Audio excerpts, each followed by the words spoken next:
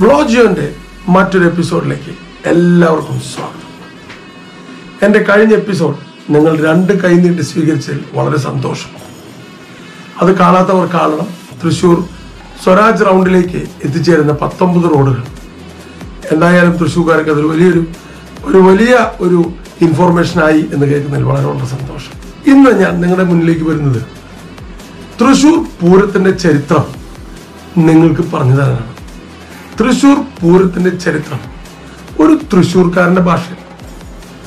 നിങ്ങളുടെ കേട്ടല്ല ഞാൻ തുടങ്ങല്ലേ നമുക്ക്?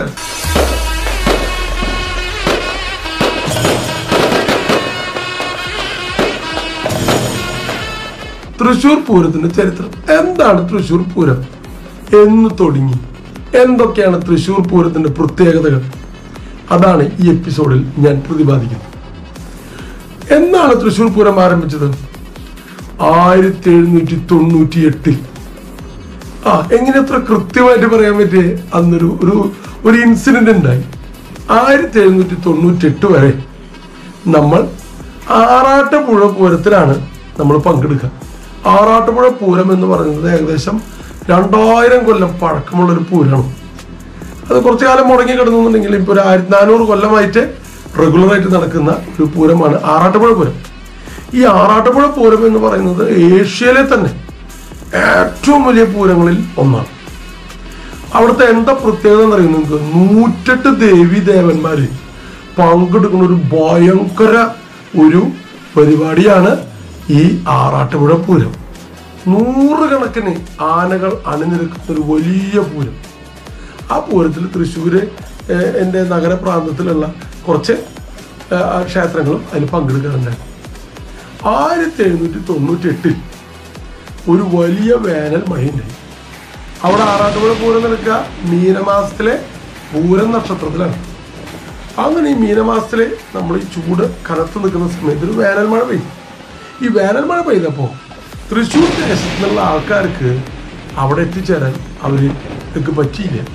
അവർ വൈകി. അവർ വൈകിയപ്പോൾ തൃശ്ശൂർക്കാർക്ക് വേണ്ടി കാത്തു നിൽക്കാതെ ആറാട്ടുപുഴ ആ പരിസരത്തുള്ള മറ്റ് ദേവി ദേവന്മാരെല്ലാവരും കൂടി പൂരം ഗംഭീരമായിട്ട് നടത്തി.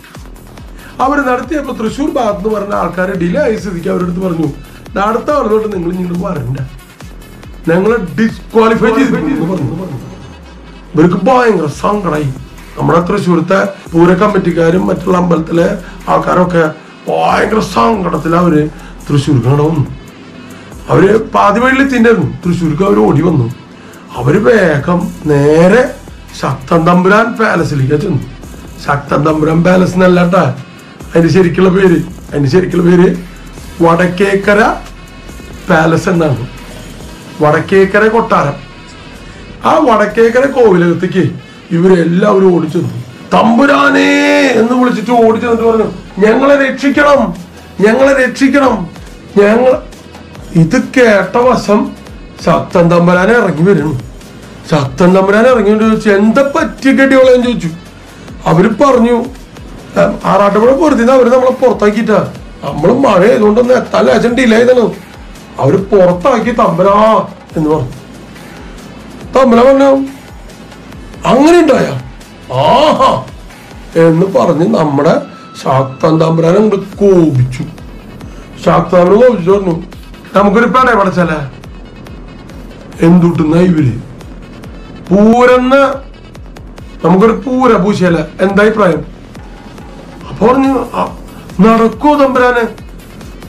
ഒരു മാസ സമയത്തിനുള്ളിൽ നമുക്കൊരു പൂര പൂശല എന്താ അഭിപ്രായം ചോദിച്ചു? ഞങ്ങൾ തെയ്യം ഗെറ്റ് എന്ന് പറഞ്ഞു ആൾ. പറഞ്ഞു ഒറ്റ മാസത്തിനുള്ള പൂരം. ഓക്കെ? ഒറ്റ മാസത്തിനുള്ള പൂരം. നമ്മുടെ മേടമാസത്തിലെ പൂരം നഷ്ടത്തിൽ ഞാൻ പറഞ്ഞു അവർ പറഞ്ഞു ഞങ്ങൾ റെഡി നിന്നു. നമുക്ക് പൂച്ചാറാന്ന് ശക്ത നമ്പുരാൻ. അങ്ങനെ ശക്ത നമ്പുരാൻ ക്ഷേത്ര ഭാരവാഹികളെയും കച്ചവടക്കാരെയും മറ്റുള്ള സഹൃദയരായ എല്ലാ വിഭാഗത്തിൽ ജനവിഭാഗത്തിൽപ്പെട്ടുള്ള ആൾക്കാരെയും വിളിച്ചുകൂട്ടി അവർ ഒരു മീറ്റിംഗ് നടത്തി. മീറ്റിംഗ് നടത്തിയിട്ട് അവർ തീരുമാനിച്ചു. നമുക്ക് അതിഗംഭീരമായിട്ട് പൂരം നടത്താം. അങ്ങനെ വളരെ ഷോർട്ട് പീരീഡിൽ അവർ പ്ലാൻ ചെയ്ത് ശക്തൻ തമ്പുരാന്റെ നേതൃത്വത്തിൽ പ്ലാൻ ചെയ്ത് എക്സിക്യൂട്ട് ചെയ്ത ഈ ഒരു സംഭവത്തിനെയാണ് അതല്ലെങ്കിൽ അടിച്ചമർത്തപ്പെട്ടവന്റെ വികാരമായ വിപ്ലവമാണ് തൃശൂർ പൂരം എന്ന് പറയുന്ന ഒരു വലിയ സംഭവം ഇവിടെ ഡിസൈൻ ചെയ്തത്. ശക്തൻ തമ്പുരാന്റെ നേതൃത്വത്തിൽ. ശക്തൻ തമ്പുരാൻ പറഞ്ഞു കച്ചവടക്കാരുടെ അടുത്ത് പറഞ്ഞു നിങ്ങളൊക്കെ സഹകരിക്കണം. നിങ്ങൾ മറ്റുള്ള അതിന് സാമ്പത്തികമായിട്ടുള്ള കാര്യങ്ങൾ തരണം. നിങ്ങളിത് ചെയ്യണം. ഈ പൂരത്തിന് ഇല്ല ഇതൊരു ജനകീയ മേളയിട്ട് നടത്താൻ പോണേ. ജനകീയ മേള എന്ന് പറഞ്ഞു കഴിഞ്ഞാൽ ഇതിലെ ആചാര അനുഷ്ഠാനങ്ങൾ ഒന്നും തന്നെ ഇല്ല അത് ഹിന്ദുക്കൾക്കും മുസ്ലിമുകൾക്കും ക്രിസ്ത്യാനികൾക്കും വരുത്തന്മാർക്കും എല്ലാവർക്കും പങ്കെടുക്കാവുന്ന ഒരു പൂരം. ആചാരാനുഷ്ഠാനങ്ങളില്ലാതെ നടത്തുന്ന ഒരു പൂരം. അപ്പോ അതിന്റെ ഒരു പ്രത്യേകത അദ്ദേഹം ഡിസൈൻ ചെയ്ത് എന്താ വെച്ച് വടക്കുനാഥന്റെ സന്നിധിയിൽ തന്നെ ആവട്ടെ.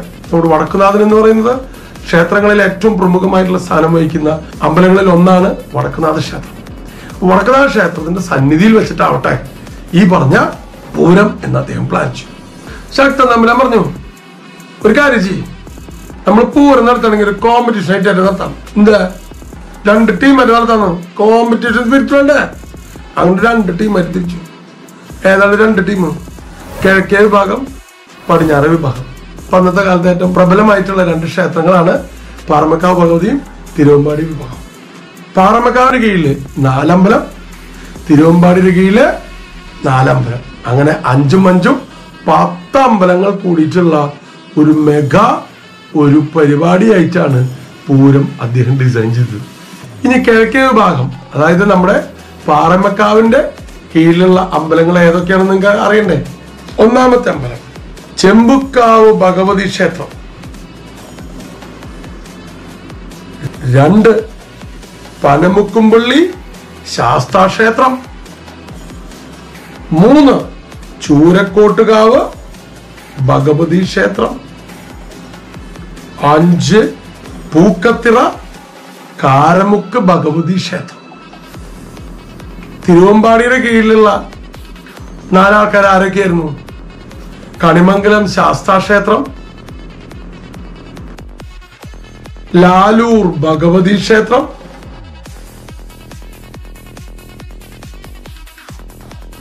അയ്യന്തോൾ ശ്രീ കാർത്യായനി ക്ഷേത്രം കുറ്റൂര് നെയ്തലക്കാവ് ഭഗവതി ക്ഷേത്രം. പൂരത്തിന്റെ തയ്യാറെടുപ്പ് തുടങ്ങാൻ തീരുമാനിച്ചു.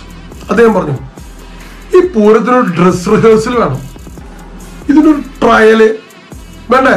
പൂരം നമ്മൾ നമ്മുടെ മേടമാസത്തിലെ പൂരം നക്ഷത്രത്തിൽ പൂരം നിർത്തുമ്പോ ഗംഭീരാവണമെങ്കിൽ ഒരു ട്രയൽ അടിക്കണം.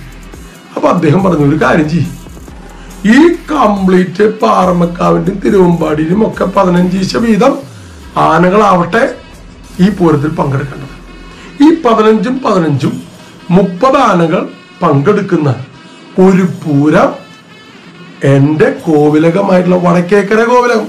നമ്മുടെ ശക്തൻ പാലസ് വിളിക്കുന്ന കോവിലകത്ത് വെച്ചിട്ട് നടത്താൻ തീരുമാനിച്ചു. പൂരത്തിന്റെ തലേന്നിന്റെ തലേ ദിവസം. ഓക്കെ ആ പൂരത്തിന്റെ പേരാണ് കോവിലകത്തും പൂരം എന്ന് പറയും. കോവിലകത്തും പൂരം തൃശ്ശൂർക്കാരുടെ കോലത്തും കേട്ടാ ഏ കോലത്തും പൂരം അങ്ങനെ കോലത്തുംപൂരം നടത്തുകയാണ്. എന്തിനു വേണ്ടി ഡ്രസ് റിഹേഴ്സലാണ് ഒരു ട്രയലാണ് അതിനൊരു പ്രത്യേകത. എന്താണെന്ന് വെച്ച് കഴിഞ്ഞാൽ നോ ഔട്ട്സൈഡേഴ്സ് അലൗഡ് അപ്പൊ അങ്ങനെ രാജാവും പരിവാരങ്ങളും സ്ത്രീകളും ജനങ്ങളും ഒക്കെ കണ്ട് അതിലൊരു അഭിപ്രായം പറയും. എന്നിട്ട് നമ്മൾ അദ്ദേഹം ചെന്ന് കൊട്ടുകാർ വാദ്യക്കാരെടുത്തും ആനക്കാരെടുത്തും പൂരം കമ്മിറ്റിക്കാരടുത്തൊക്കെ ചോദിക്കും എങ്ങനെയുണ്ട്? കുഴപ്പമുണ്ടോ?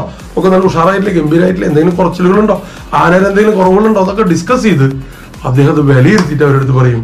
ഇനി നിങ്ങൾ എല്ലാവരും അതാത് അമ്പലങ്ങളിലേക്ക് തിരിച്ചു പോയിക്കോളൂ നാളെ കഴിഞ്ഞ് മറ്റന്നാൾ തൃശൂർ പൂരം. ആ കോവിലകത്തും പൂരം നടക്കുന്നത് നമ്മുടെ ഇപ്പോൾ നമ്മൾ കാണുന്ന ആ ശക്തൻ പാലസിൽ വെച്ചായിരുന്നു.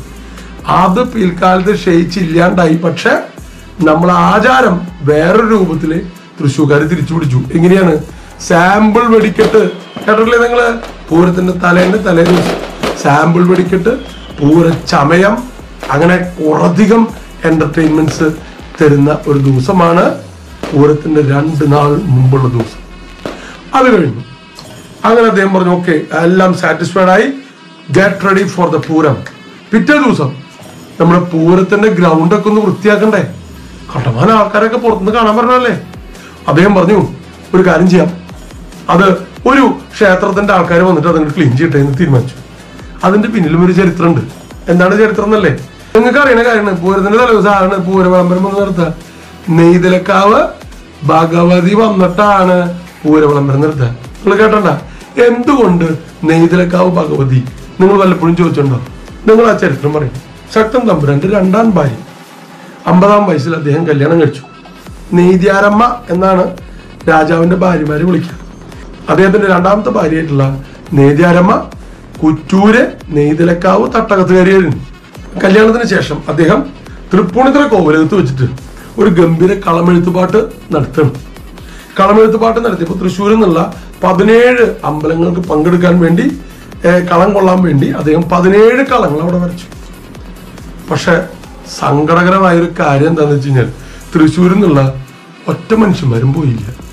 രാജാവിന് ഭയങ്കര സങ്കടമായി അപ്പൊ അത് നെയ്താരമ്മയ്ക്കും ഭയങ്കര സങ്കടമായി അപ്പൊ നെയ്താരമ്മ പറഞ്ഞു രാജാവ് ഒരു കാഞ്ച് ഒരു കളം കൂടി മരക്കി. ഈ കളം കൂടി മരച്ചു കഴിഞ്ഞ് കഴിഞ്ഞാൽ ഉറപ്പായിട്ട് ഞാൻ പറയുന്നു എന്റെ തട്ടകത്ത് നിന്നുള്ള അമ്പലത്തിൽ നിന്നുള്ള ആൾക്കാർ വരും എന്ന് പറഞ്ഞു.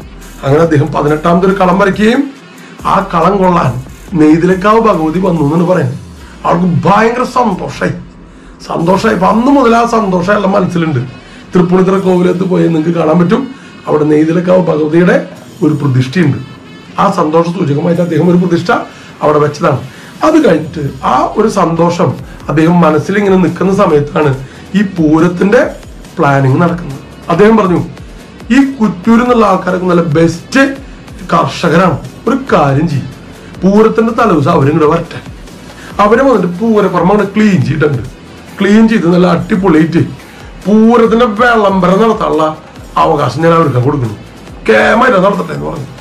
അങ്ങനെ അവിടെ നിന്നുള്ള കർഷകരും അവിടുത്തെ തൊഴിലാളികളും മറ്റുള്ള ജനങ്ങളും ഒരു വലിയൊരു കൂട്ടമായി വന്ന് പൂരപ്പുറമ്പ് മുഴുവൻ ക്ലീൻ ചെയ്ത് വൃത്തിയാക്കി അവർ ആ ശ്രീമൂല സ്ഥാനത്ത് വെച്ചിട്ട് ശങ്കൂതു പൂരം തുടങ്ങാൻ പോണിട്ടാന്നുണ്ട് ശങ്കൂതിയിട്ട് അവരതിന്റെ ഉള്ളിലേക്ക് കടക്കും. പടിഞ്ഞാറ് നടയിൽ കൂടെ അകത്തേക്ക് കിടക്കും.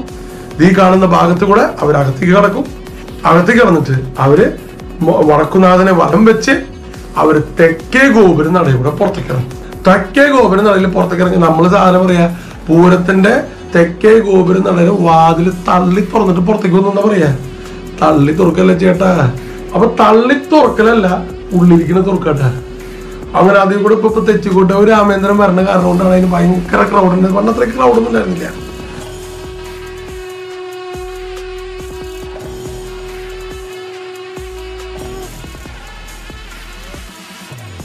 അത് കഴിഞ്ഞാൽ പൂരത്തിന്റെ അന്ന്